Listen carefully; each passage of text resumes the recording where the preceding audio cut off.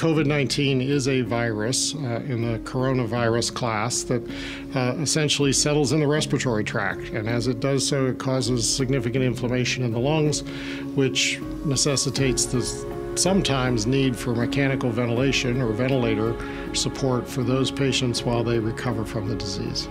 The device that we're bringing to market is something called Vesper. It's actually very simple. It's truly designed only for use uh, in the indication of patients uh, when we run out of ventilators. When we run out of that one on one opportunity, uh, this is something that we can use during the time of the pandemic.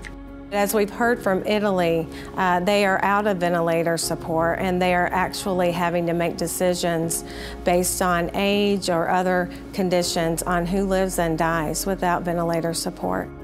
This will allow us to expand a single ventilator to deliver um, breathing to four patients simultaneously um, if the patients are relatively well matched with regard to their clinical parameters.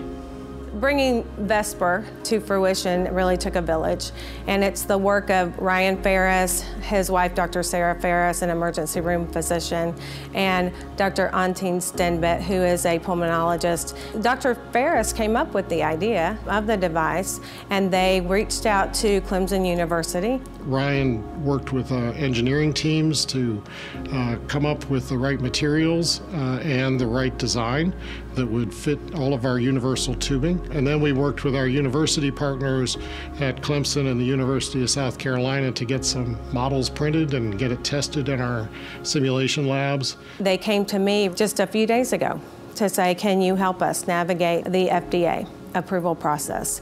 And it was like Friday night at 10 o'clock. By Saturday, we had a meeting with the agency, with their team, and then by uh, today, we received emergency approval which is three days later.